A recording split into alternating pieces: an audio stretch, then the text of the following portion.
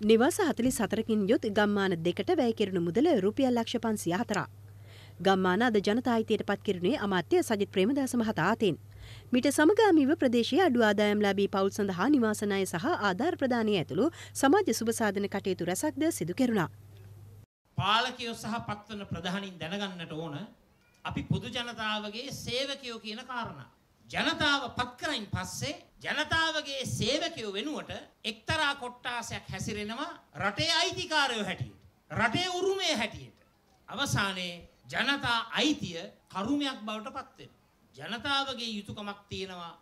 සේවකයා හැටියට පත්කරපු පුද්ගලයා අයිතිකරුව හැටියට හැසිරෙනකොට ජනතා තීන්දුවක් ගන්න. අයිතිකාරයයි සේවකයයි හොඳින් හඳුනා ගන්න එනකොට බොහෝම පරිස්සං වෙන්න බැටලු හම පොරවාගත් වෘකයොත් එනවා. හිත ඇතුලේ තියෙන්නේ එකක් එළියට පෙන්වන්නේ තවත් එකක්. ජනතාවට සිද්ධ වෙනවා බැටලු හම පොරවාගත් වෘකයොද රට වෙනුවෙන් වැඩ කරන සේවකයොද. එහෙම නැත්තම් ඡන්දය අරගෙන බොරු කරලා රවට්ටලා රටේ අයිතිකාරයෝ වෙනවද? ඉතින් මම ප්‍රාර්ථනා කරනවා තමුන්නාන්සෙලාට අයිතිකාරයා කවුද? සේවකයා කවුද? බැටලු හම පොරවාගත් වෘකයා කවුද? මේ ඔක්කෝම හඳුනා ගන්නට ඔබලාට දැනුම මිනුම ප්‍රඥාව පහළ වේවා කියා ප්‍රාර්ථනා කරමින් මතක තියාගන්න ඉදිරියේදී ඔබලට තීන්දුව කරන්න සිද්ධ වෙන්නේ සේවකයා සහ අයිතිකාරයාගේ ප්‍රශ්නේ.